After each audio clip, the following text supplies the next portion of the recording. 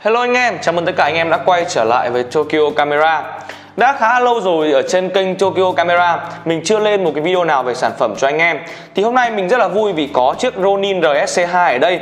Đây là một cái sản phẩm mà đang rất là hot tại Tokyo Camera. Và đợt trước thì mình đã có một cái video là mở hộp cái chiếc Ronin RSC2 này rồi. Anh em nào chưa xem thì mình sẽ để link ở phía bên trên cho anh em nhé và điểm đặc biệt của chiếc Ronin RSC2 này đó chính là anh em sẽ có thêm cho mình một cái màn hình nho nhỏ ở đây. Vậy thì chiếc màn hình này có thể làm những gì? Thì trong video ngày hôm nay chúng ta hãy cùng nhau tìm hiểu nhé.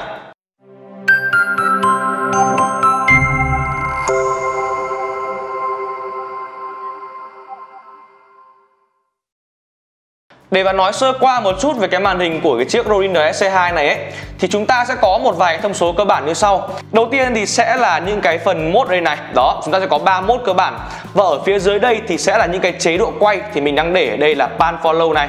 Và phía bên phải của chúng ta thì sẽ có hiển thị đó là cái tốc độ của cái trục này thì mình đang để là slow các bạn nhé. Và ở phía bên trên thì các bạn có thể nhìn thấy đó là phần trăm pin của cái chiếc gimbal này. Nhưng mà nếu như màn hình của chiếc gimbal này chỉ dừng lại ở việc hiển thị không ấy thì mình không có gì nói cho anh em cả. Thế nhưng khi mà anh em nhìn sang bên trái giúp mình này, đó, chúng ta sẽ có một cái vòng dial ở đây này. Đây, cái vòng dial đây anh em nhé.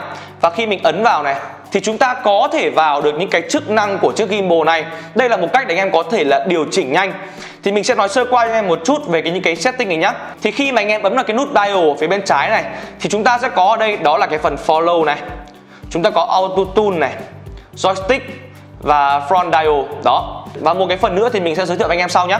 Và về cơ bản thì các bạn sẽ có ba cái phần cần để quan tâm nhất, đó chính là phần follow này. Và cái phần thứ hai nữa, đó là phần joystick và phần thứ ba là cái phần dial đằng trước này. Thì bây giờ chúng mình sẽ bắt đầu vào cái phần follow này nhé ở phía bên trong phần follow này, chúng ta sẽ có mode và speed. Nó sẽ chia rõ ràng như này.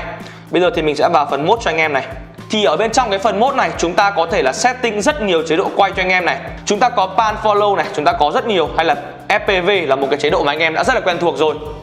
Bên cạnh đó thì anh em hoàn toàn có thể là custom cho mình nữa. Đó, đây là những cái phần rất là hay ở trên cái chiếc gimbal này. Thoát ra ngoài một chút chúng ta sẽ đến với cái phần speed này. Thì tức là cái phần speed này anh em hoàn toàn có thể là chỉnh tốc độ của cái mode anh em vừa cài đặt. Ở đây khi mình ấn vào này Đó, chúng ta sẽ có ba cái chế độ chính là slow medium và fast. Mà mình khuyên anh em là chúng ta chỉ nên để ở phần slow để chúng ta có thể là dễ dàng điều chỉnh cái trục quay trong cái lúc anh em đang đi làm việc nhé chúng ta sẽ đến bỏ qua cái phần auto tune này một chút. Mình nghĩ là nhiều anh em cũng biết về cái phần auto tune này rồi. Đến với cái phần, đó là phần joystick. Đây là một cái phần cũng khá là quan trọng bởi vì là khi mà anh em đi quay thì anh em sử dụng cái nút joystick này khá là nhiều. Và ở bên trong cái phần joystick, chúng ta sẽ có hai cái cài đặt cơ bản. Đầu tiên là speed và thứ hai là smooth, tức là độ mượt của cái phần joystick này thì mình sẽ đến với phần speed trước nhá. Với phần speed này thì anh em cũng hiểu rồi chúng ta có thể là điều chỉnh cái tốc độ của cái um, joystick này. Và với cái phần speed này ấy, thì mình khuyên anh em là chúng ta chỉ nên để ở cái chế độ là slow mà thôi. Mình sẽ chuyển đến chế độ slow này. Đó.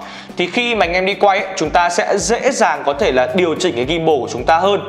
Ở phần smooth này thì à, một cái recommend cho anh em là anh em nên để là hai chứ chúng ta không cần thiết là phải để là medium hay là để là low để là hai, nó sẽ có một cái độ mượt nhất định cho anh em, để chúng ta có thể là dễ dàng quay hơn nhé đến với cái phần mình nói ở đầu video, đó là phần front dial, tức là cái phần vòng dial ở phía trước. Khi mình bước vào này, đó, chúng ta sẽ có một cái function ở đây. Mình sẽ ấn vào phần function này anh em nhé và ở trên RSC2 một cái điểm cộng rất là lớn đó chính là chúng ta đã có thêm cho mình đó là một cái phần front dial ở trước. Và với cái nút front dial này, đây là một cái nút nó rất là đa dụng.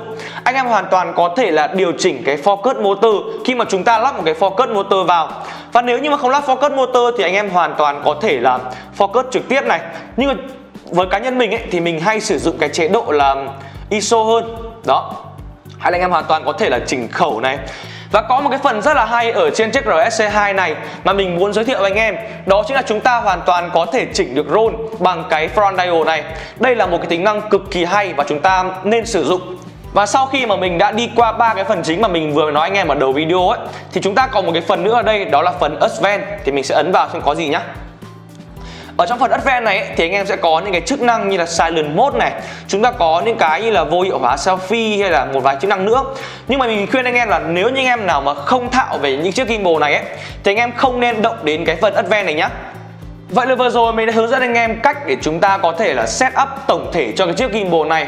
Và mong rằng là với cái chia sẻ của mình ấy, thì sẽ giúp ích cho anh em phần nào trong cái việc anh em đi quay nhá.